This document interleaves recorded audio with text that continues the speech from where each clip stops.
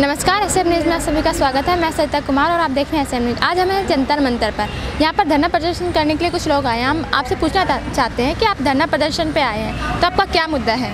देखिए हमारा, हमारी जो मांग है केंद्र सरकार से मांग है, हमारी ये मांग है कि जो ये सत्रह जातियाँ हैं, कश्यप, दीवर, कहार, केवट, मल्ला, निषाद प्रजापति आदि जातियाँ इनको जो है एससी में शामिल किया जाए, इनके प्रमाण पत्र बनाए बनाए जाएँ और जो है इनको भी जो एक मुख्य धारा में शामिल किया जाए। आज विकास से बहुत दूर हैं ये लोग। अगर इनका आर्थिक सर्वे करा जाए या शैक्षिक शैक्षिक रूप से सर्वे करा जाए, सबसे ज़्यादा पता चलेगा। इन जातियों के सबसे ज़्यादा बच्चे अनपढ़ हैं।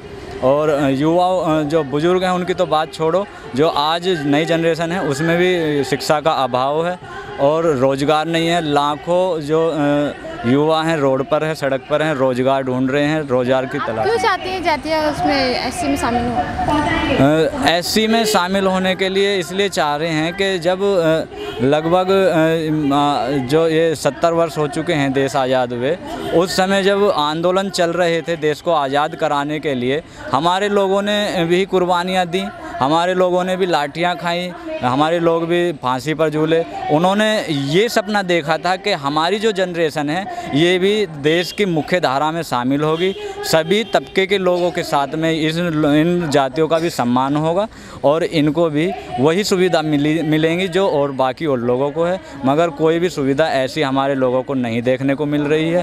वो ऐसा लगता है ये जो सत्रह जातियाँ हैं, इन सत्रह जाति को, जाति की कोई भी भूमिका इस देश में है ही नहीं, ऐसा लगता है, महसूस होता है।